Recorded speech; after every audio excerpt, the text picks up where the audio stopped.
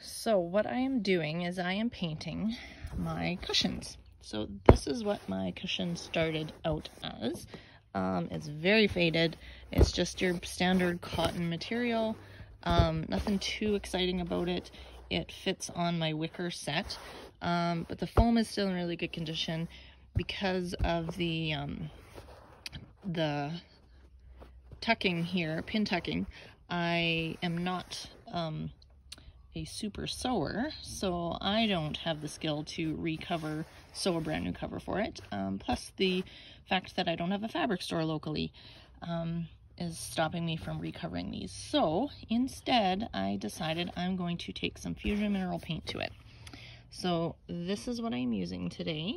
I'm using Ash, and I'm gonna just quick show you, give you a quick demo of what I'm doing.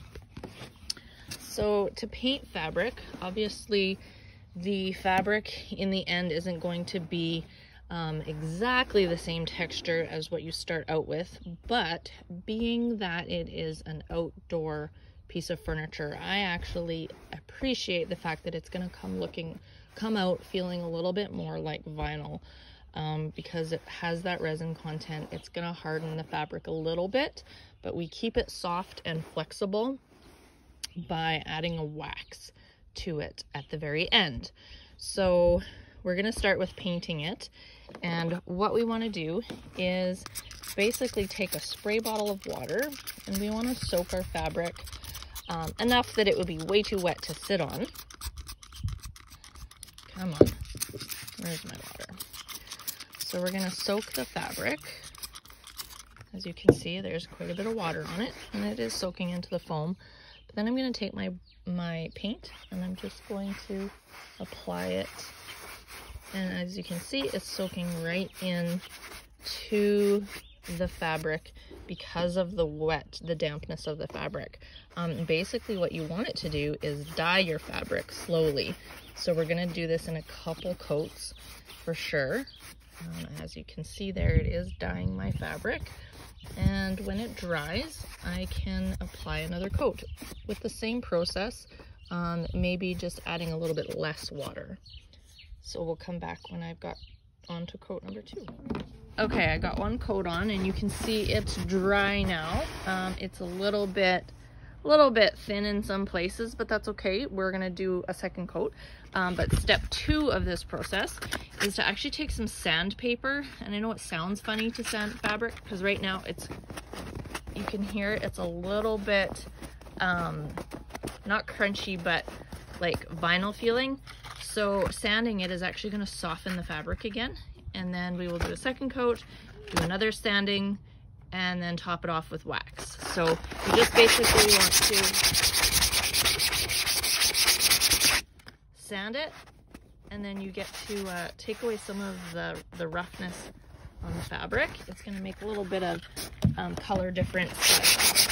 I'm to sand it all. So once you sand the cushion, it's a little bit softer again. Then you're going to come back with it and do um, a second coat. And again, the same technique we're applying as we did the first one. Do a little bit of spraying, dip it, and that's just water, and then dip it in, and we're basically covering the fabric spot that we sprayed, um, and just dyeing the fabric, essentially.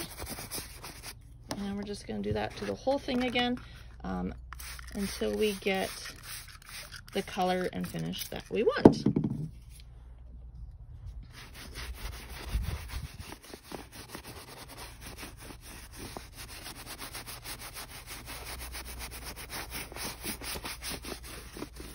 So we are on to step three, as you can see, or I guess technically it's step four. Um, so this one I have sanded. Now I have a tip for you. We are going to apply a wax, a clear wax. Um, if you have used socks that you can't find the pair, throw one on and use that to apply your wax. It works really well. So basically, um, you're going to sand it again and just to make it softer and then you're going to apply a natural wax and you're basically going to buff it into the fabric. Um, and this is what's giving it its waterproof protection. And then that way you um, can have it outside and it's going to stay protected. And some people think that this is going to actually rub off in your clothes. If you give it um, couple hours to dry. It's going to soak into the fabric and really be dry to touch. Even right now I can feel it's it's not really coming off on my hands. They're kind of greasy from the wax but uh, from applying it. But yeah. So after that's all dry then it's basically like vinyl and it's good to go to sit outside hope this helps and okay I wanted to show you kind of my final product after the wax has dried. You guys can see here um, that it's not quite as shiny as it had been when I first put the wax on but in the sun it's actually softened even more and not super um, like it's not really crisp and crunchy it just feels more like vinyl and it's to be nice and waterproof um, if it does get rain on it obviously I would recommend because they're cushions and foam inside that you would put them uh, somewhere covered if they get wet. But anyway, they're to be nice and durable for outside. And you have a brand new looking cushion cover. So hope you guys have a wonderful Mother's Day weekend. Bye.